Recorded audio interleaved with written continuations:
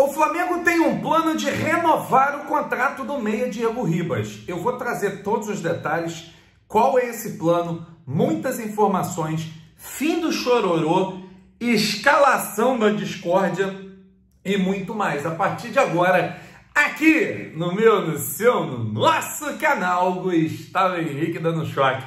Aciona o sino da notificação para todos os vídeos e vem comigo Nação Rubro-Negra. Chega com tudo, porque eu vou falar para vocês, só tem parada maneira, só tem coisa legal. E olha, deixa eu dar um recado para você que faz parte das categorias de base do Flamengo. Para você, independente da idade, quer mostrar o seu lance em jogo do Flamengo sensacional?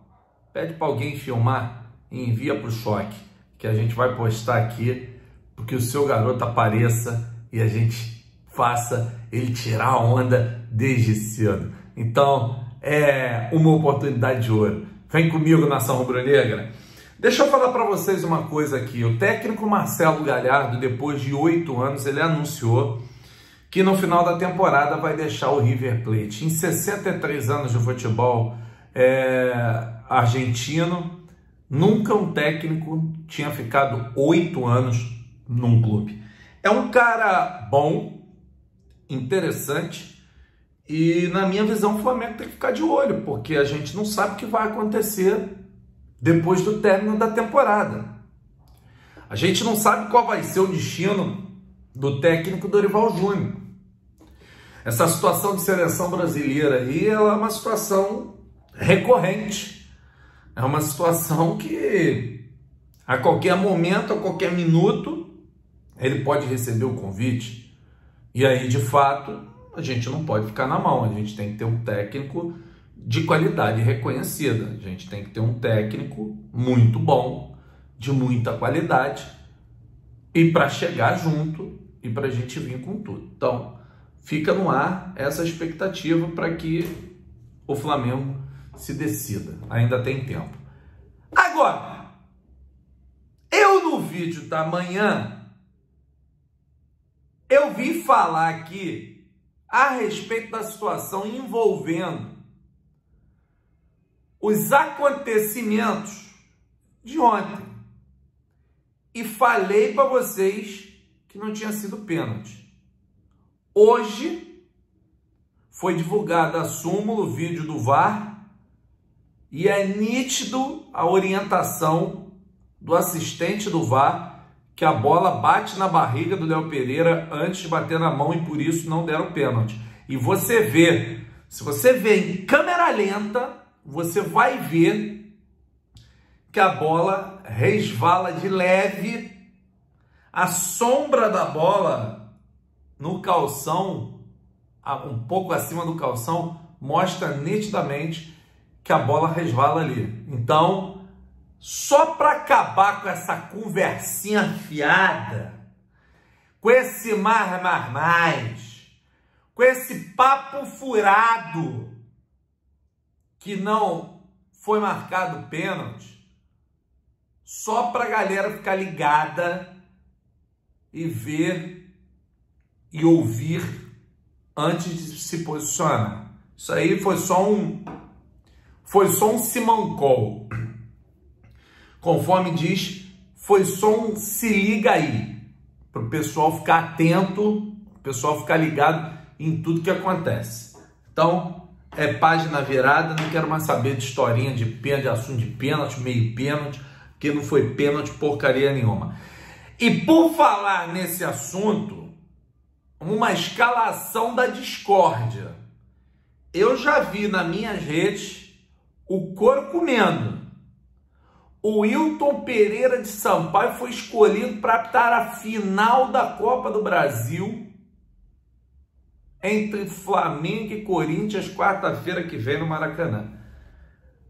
Eu vou falar uma coisa para vocês. Aí é para matar o sujeito do coração, né? Você depender de Wilton Pereira de Sampaio no apito um árbitro que já teve problemas com o Flamengo, um árbitro que já foi questionado pelo Flamengo, E ainda assim, ah, mas ele é FIFA, Copa do Mundo. Ele é FIFA, Copa do Mundo, mas teria que apitar esse Brasileirão, então, no padrão de Copa do Mundo. Porque senão vai passar vergonha na Copa. Porque o que andou fazendo de lambança por aí é torto é direito não foi brincadeira, não. Mas não foi mesmo, foi coisa séria que esse rapaz andou fazendo por aí. Então eu vou ser muito sincero para vocês. O momento, gente, é de atenção, mas essa escala, porque eu, eu não entendo. Por que não botaram o Daronco para apitar o jogo? Se sabiam que iam botar o Wilton Pereira Sampaio para apitar a final, por que, que não botaram o Daronco para apitar o primeiro jogo? Pelo amor de Deus, eu não entendo essas coisas. O cara não teve problema nunca aí com o Flamengo, o Wilton já teve. É, é, é, é, é, uma coisa que eu vou ser sincero para vocês. Eu não entendo muita coisa que é feita na, na arbitragem, no futebol, sinceramente. Eu vou falar para vocês, eu não entendo. Não entendo mesmo. Não entendo de coração, de verdade. Conforme não entendo também como tem clube da Europa interessado no Davi Luiz. Agora é o Monza da Itália de olho no jogador que tem contrato com o Flamengo e não está afim de sair. Está afim de ficar por aqui, está bem adaptado ao Rio de Janeiro, está feliz no Flamengo. Então, assim, é mais um interesse que existe, mas que eu digo para vocês, não passa realmente de um interesse, porque não tem mais nada a ver o Davi Luiz Tá feliz no Flamengo, Davi Luiz quer ficar no Flamengo, Davi Luiz quer conquistar títulos pelo Flamengo. Ele quer conquistar títulos, quer continuar sendo um jogador importante que é. Então, assim, sinceramente, eu não consigo entender essas conversas fiadas, esses mais, mais, mais que rolam por aí. Sinceramente, eu vou dizer para vocês, não tem nada disso, não tem parada Nada. Vidal e os titulares do Flamengo foram liberados do treinamento desta quinta-feira. Uma folga para a rapaziada. Muito possivelmente, contra o Atlético Mineiro, teremos de novo o time reserva, com a possibilidade de ser reserva do reserva em alguns momentos. Alguns garotos devem ser confirmados para essa partida, porque o Flamengo tem uma situação importante. Olha aqui, gente. Deixa eu falar para vocês o seguinte. O contrato do meia Diego Ribas termina no final do ano. E a princípio, conforme o próprio já tinha falado, de parar no final do ano.